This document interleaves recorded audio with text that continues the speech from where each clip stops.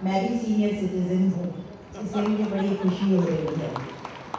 और ये कार्यक्रम होता रहे, ऐसे मैं विनोद जी को रिक्वेस्ट करूँगी क्योंकि विनोद जी ने बहुत अच्छा काम किया है, और ऐसा काम अच्छा काम करते रहे, ऐसी मेरी शुभेच्छा।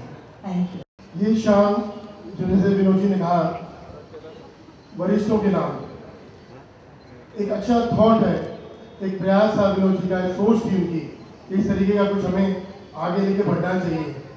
हमने आपस में बात की, समझा एक दूसरे को और let us take it forward हमने डिसाइड किया। दोस्तों, उम्र में बहुत छोटा हूँ, आप बुज़ुर्गों के बीच। पर एक चीज़ ज़रूर कहना चाहूँगा यहाँ पर। एक बहुत पुरानी बात है।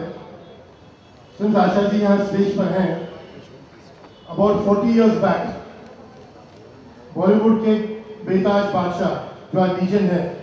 वो ट्रेवल कर एयरक्राफ्ट में।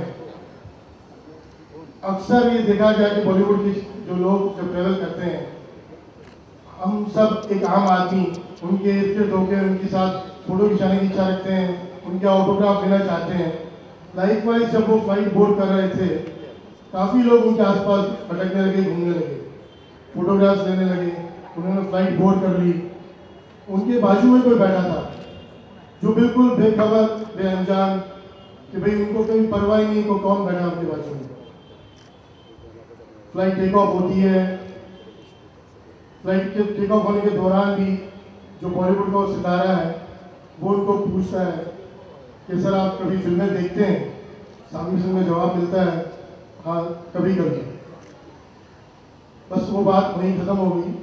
बाजू में जो बैठा था उनके, वो अपने पेपर में बिज़ी हो गए थे फाइनली जब फ़्लाइट लैंड होती है, यही बॉलीवुड के बेताज बादशाह, उनको फिर बोलते हैं sir it was a pleasure meeting you मैं हूँ बॉलीवुड से सर मेरा नाम है दिलीप कुमार. दोस्तों जब जो जवाब उनको मिला, उन्होंने कहा well Dilip ji it was a pleasure meeting you I am J R D Tata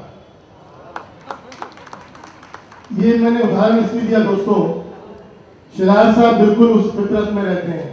ये कर गुजरते हैं, लेकिन बॉदर नहीं करते कौन कब क्या उनके लिए बोल रहा है। एक जोरदार तालियों के उनका स्वागत किया जाए थैंक यू वेरी मच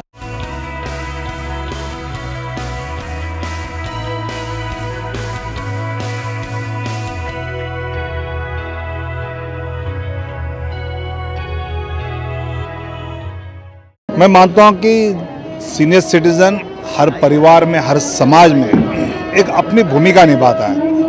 और उनको इस प्रकार याद करना और उनका सम्मान करना। मैं विनोद शिला जी का बहुत अभिनंदन करता हूँ। और विशेषकर यहाँ पर मुबारक बेगम जी को याद करके आज उनके गाने हम सब याद करें लेकिन आज वो किस स्थिति में है और वो ध्यान में थे, उनका सम्मान और उनको छोटी क्यों ना हो, आर्थिक मदद करना। मैं ये कल्पना समाज की ओर से इस प्रकार कलाकारों को हर समय आश्रय मिलते रहेगा, यही बात आज यहाँ बताई गई।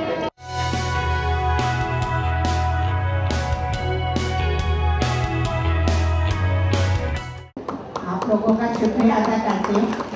सबसे पहले तो उस अल्लाह ताला का और फिर इनके विनोद जी के हाथों से, अच्छे लोगों के हाथों से हमें अवार्ड दिया। इसकी बड़ी खुशी है।